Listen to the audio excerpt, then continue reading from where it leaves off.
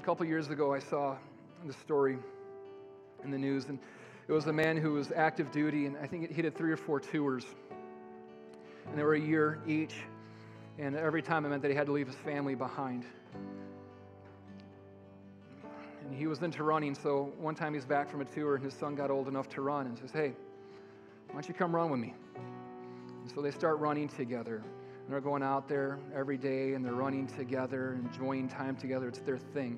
And then when he's away on deployment, they communicate back and forth. The son would keep running and the dad would keep running.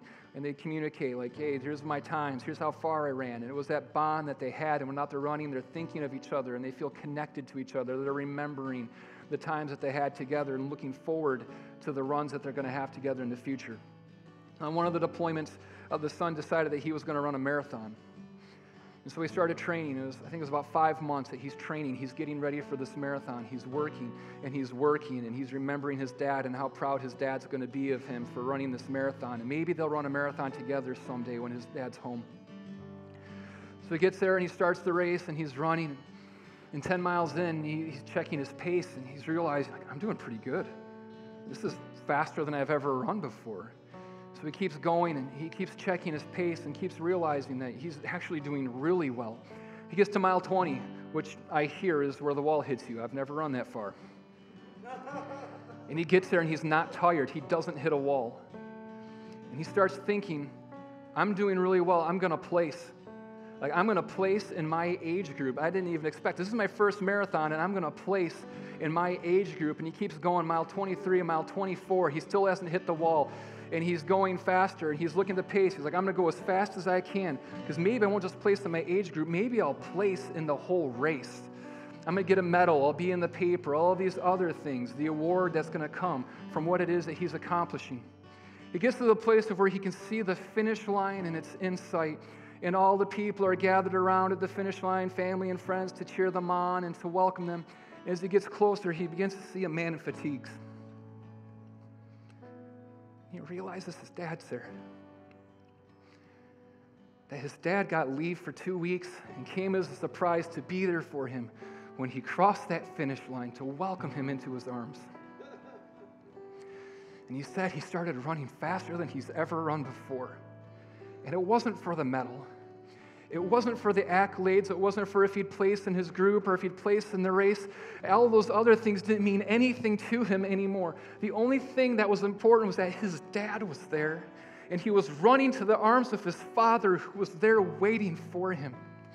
You know, we have the same thing as we're running this race we're not running. It's so tempting to think, I want these accolades, I want these awards, I want pleasure, I want control of myself, I want all of these different things that are so important to me. But when we get the glimpse of that, our Father's sitting there and He's waiting for us at the end of the finish line, that He's the prize, that He's the, the reward that we receive, it doesn't matter about the time anymore. It doesn't matter what other people are going to think. It doesn't matter the career we have, the degree we get, and none of those things matter anymore because the only thing that we want is to run into the arms of our Father.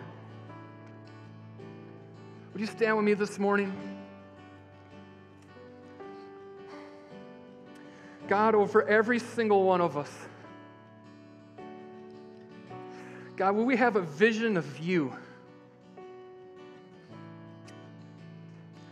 A vision of your love for us. A new awakening, a new revelation of it that everything else in this world would seem completely worthless, that would just seem like garbage in comparison. And Jesus, would there be a desire stirred up inside of us to run our race for you, to run our race for the reward that is you, casting off every hindrance, casting off every weight, Jesus, because we want you. Jesus, we're so grateful for healings. We're so grateful for restored marriages. We're so grateful for wisdom. We're so grateful for financial breakthrough. But Jesus, more than all of those things, we want you.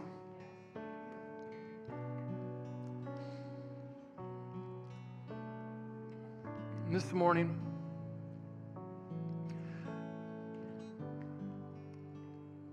maybe there's some weight that you've been carrying in this race. Some things are going to keep you from seeing breakthrough. Some things are going to wear down your faith. Some things that are going to make it so you spend your life pursuing the wrong things and pouring all of your effort and all of your energy into stuff that's garbage in comparison. Maybe this morning you need God to come and to break some things in you. Maybe it's some sin issues in your life that you need God to break off because they're weighing you down. Maybe this morning you need to have Him break off some thoughts. You know, thoughts can be heavy. The thought that you're not good enough, the thought that you've done too much, the thought that God doesn't love you. That is the worst weight you can carry. Maybe you need that broken off of you this morning so that you can receive the love of the Father for you and see Him at the end of the race calling to you with arms open to step into the reward that is Him, that is knowing Him, that's being one with Him. Maybe for some of you, it's heavy sorrow on your heart that you need broken off because it's a weight that's keeping you from following after Jesus, or it's anxiety or fear.